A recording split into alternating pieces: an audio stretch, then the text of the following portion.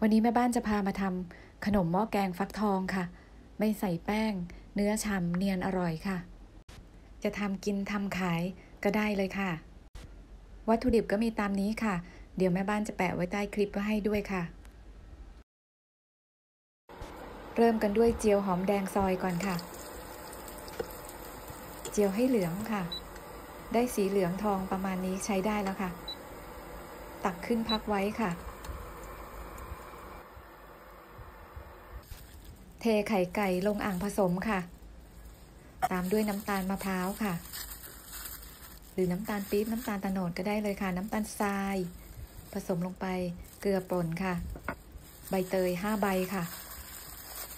ขยำค่ะ ใบเตยนี่เขาจะช่วยลดความคาวของไข่ได้ค่ะ ขยำเสร็จแล้วเราก็จะบีบบีบเอาใบเตยทิ้งนะคะ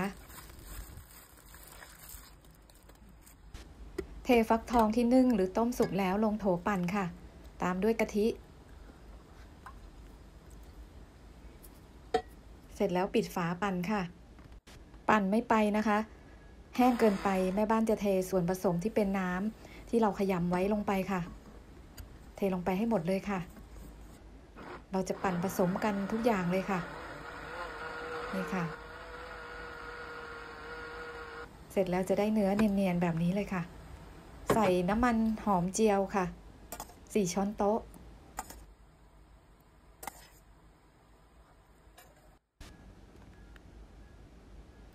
ปั่นให้ส่วนผสมเข้ากันค่ะไม่ต้องนานนะคะ เสร็จเรียบร้อยเรานำมากรองค่ะ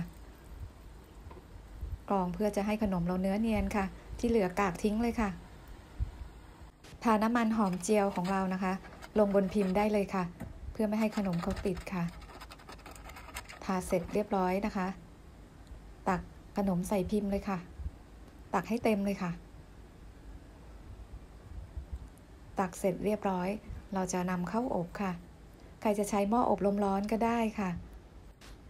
ใครไม่มีหม้ออบลมร้อนไม่มีเตาอบ จะนึ่งก็ยังได้ค่ะ หน้าอาจจะไม่สวยแต่ว่ากินอร่อยนะคะ อบที่ไฟ 170 องศา เวลา 20 นาทีค่ะ เตาอบของแต่ละบ้านความร้อนไม่เท่ากันนะคะ ต้องคอยสังเกตดูค่ะ เพื่อไม่ให้ขนมของเราไหม้ได้ค่ะ ครบเวลาแล้วค่ะ นี่ค่ะ ขนมสุกดีเรียบร้อยค่ะ ทาน้ำมันหอมเจียวนะคะ ที่ด้านหน้าของขนม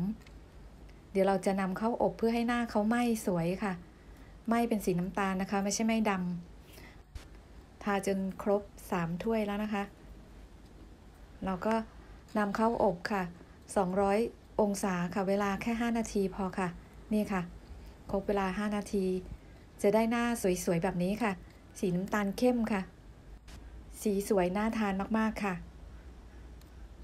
เราก็นำมาโรยด้วยหอมเจียวค่ะ ตกแต่งหน้าด้วยหอมเจียว พิมพ์ถ้วยฟอยล์แบบนี้เขามีฝาปิดให้ด้วยนะคะ สามารถทำขายได้เลยค่ะ เรามาลองชิมกันค่ะ